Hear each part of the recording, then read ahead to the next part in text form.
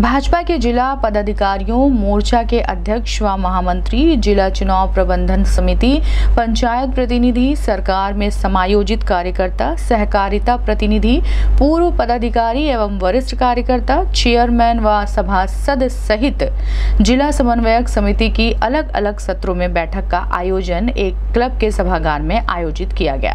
बैठक में विधानसभा चुनाव की दृष्टिगत कार्यकर्ताओं में जोश भरने का कार्य किया गया, जिसके संबंध में प्रदेश के सह चुनाव प्रभारी, राज्यसभा सदस्य विवेक ठाकुर ने कहा कि शक्ति केंद्र प्रभारी सप्ताह में एक दिन अपने शक्ति केंद्र पर जाएँ और बूथ अध्यक्षों के साथ बैठक कर बूथ जीतने की योजना बनाएँ। उन्होंने पार्टी पदाधिकारियों और जनप्रतिनिधियों से केंद्र और प्रदेश सरकार की योजनाओं का लाभ पाए लोगों से संपर्क करने को कहा। सांसद विवेक ठाकुर ने कहा कि सरकार की लोकप्रियता से विपक्षी बौखला गए हैं और अनर्गल प्रलाप कर रहे हैं। उन्होंने कहा कि प्रदेश विकास की राह पर अग्रसर है और मुख्यमंत्री योगी आदित्यनाथ के नेतृत्व में प्रदेश में दोबारा भाजपा की सरकार बनेगी। इस संबंध में गोरखपुर न्यूज़ से बात करते हुए प्रदेश के सह चुनाव प्रभारी राज्यसभा सांसद विवेक ठाकुर ने कहा।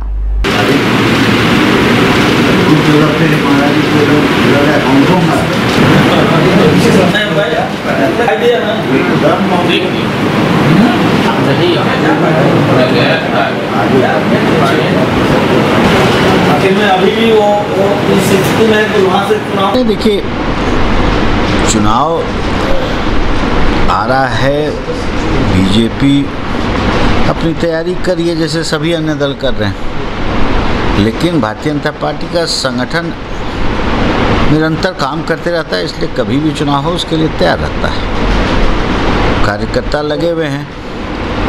अब उसी से संबंधित एक परिचयात्मक बैठक थी, परिचय आधारित और कई विभिन्न जिलों में हम लोग का दौरा चल रहा है। उसी क्रम में आज गोरखपुर के ग्रामीण क्षेत्र के सभी कार्यकर्ता थे। और, विभिन्न मुद्दों पर चर्चा हुई। कार्यकर्ता एकदम मन से जुड़े हुए हैं और जनता की भावना जो उनके मिलने के क्रम में जो जानकारी मिली, वो एक चीज़ स्पष्ट है कि उत्तर प्रदेश की जनता जो है वो मन बनाई भी है कि पुनः योगी जी की सरकार को यहाँ स्थापित करना मोदी और योगी की जो सरकार है, वो एक नई अनुभूति है पूर्वांचल में, खास करके और संपूर्ण उत्तर प्रदेश में। तो परिणाम स्वरूप क्या हो रहा है कि जो आम आदमी है, गरीब है, जो समाज के अंतिम तबका का व्यक्ति है, उसको आदि था घोषणा और उम्मीद पे जीने की।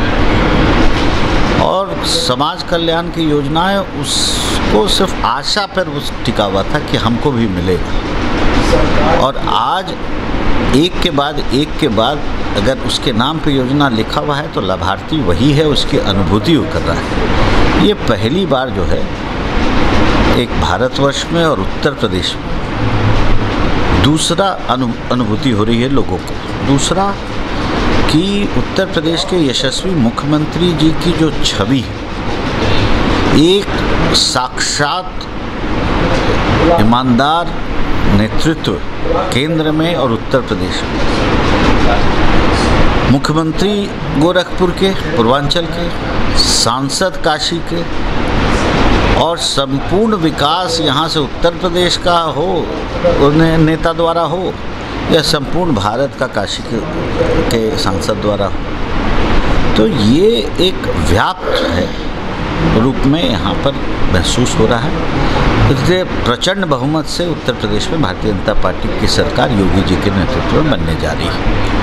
ग्राम पंचायतों को लेकर जो पंचायत ग्राम प्रधान भी है गाँव में तमाम योजनाएँ भी संचालित अपने जनपद में गोरखपुर में भी प्रखंड में उद्यान की तरह बत्तीस गाँवों को भी किया जा रहा है देखिए ग्राम पंचायतों में ये आ, हमारे जो अध्यक्ष थे या और भी जो अन्य प्रकोष्ठों के जो सदस्य थे तो सबका ये कहना था कि जो गरीब है जिसके लिए योजनाएँ हैं, उसको अपने संपूर्ण ज़िंदगी में पहली बार ये अनुभूति हो रहा है कि जो योजना के आगे उसका नाम लिखा हुआ था, उस, वह पूरी तरह से सिर्फ़ उसी को मिल रहा है। बिचौलिया राज समाप्त हो गया। तो ये एक किसी को छत नहीं था, कुछ नहीं था।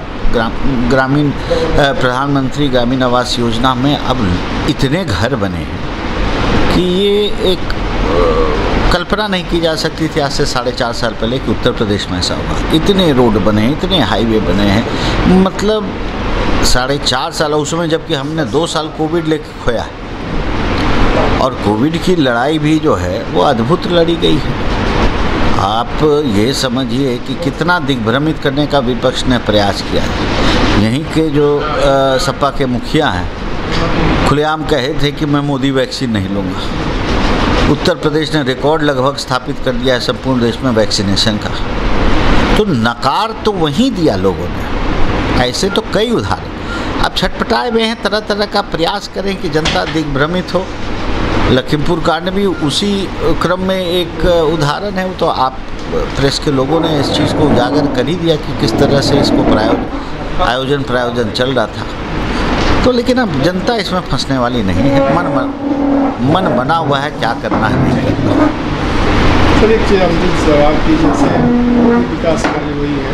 लेकिन बहुत उत्तर बूथों तक नहीं पहुँच पाते। उनके लिए भाजपा एक पन्ना प्रमुख बना रही थी और एक बूथ देखिए पन्ना प्रमुख हमारे एक संगठन का विषय है इसको तक पहुँचने के लिए। नहीं नहीं नहीं ये हम तो बूथों तक पहुँचने का काम ये नहीं है। हम पन्ना प्रमुख बने कि वोटर बूथ के संपूर्ण वोटरों के बीच में एक छोटी सी संख्या में भी हमारा कार्यकर्ता जाएगा और जो विकास के कार्य हुए हैं, उसकी चर्चा करेगा और उनको कन्विंस करने का काम करेगा कि जो ऐसा है, जो कि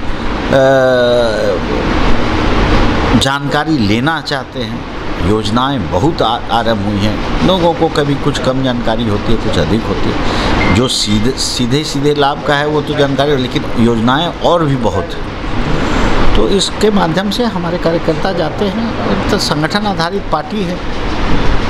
हर जगह आपको भारतीय जनता पार्टी का कार्यकर्ता दिखेगा। यही ध्येय।